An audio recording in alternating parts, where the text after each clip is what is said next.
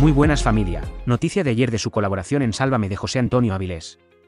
Después de pasar unos 13 días de que terminara viva la vida lo tenemos aquí en Sálvame. No antes llorando un poco para que le contrataran en algún programa, diciendo en sus redes sociales lo siguiente. Perdido y sin rumbo pero avistando tierra. Echo de menos la presión de tener que conseguir algo con lo que sorprenderos, se lamentaba. Manifestó su intención de permanecer en el mundo televisivo con indirecta incluida de que está en busca de trabajo.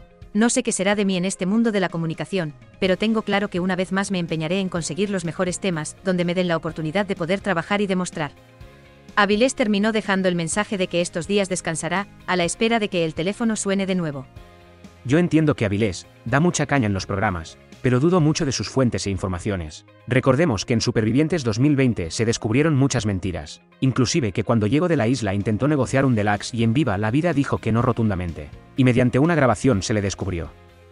Por ejemplo, Diego Arrabal en un directo suyo dijo, Le ciega tanto.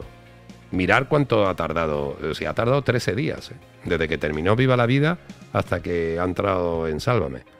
Y a mí me juró y me persugó y me perjuró que a Sálvame Diario no iba. Porque estuvimos hablando de eso, que le habían puesto un contrato, que tal. Y él me dice, yo a Sálvame Diario no voy. Yo no voy, yo no voy. Joder, yo no voy. Bueno, te ha faltado tiempo, 13 días. 13 días. como veis, otra vez miente. Entonces dudo mucho sus informaciones.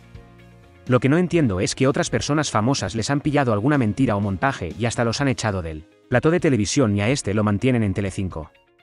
Su entrada en Sálvame sorprendió a mucha gente y le hace gracia. Puso sus límites que es no hablar de su vida privada. ¿Creéis que Sálvame no lo va a hacer?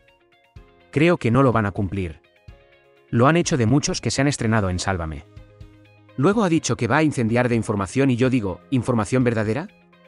Y por último, fue con intenciones de paz diciendo, Vengo a mirar al frente y a arreglar los problemas y pedir disculpas con el que quiera sentarse a hablar.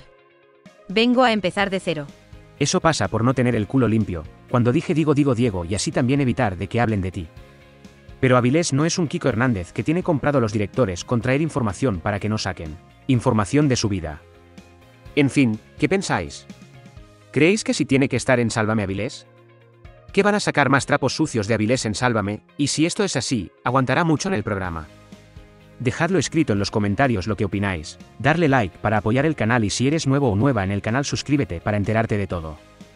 Cuidaros familia, chao.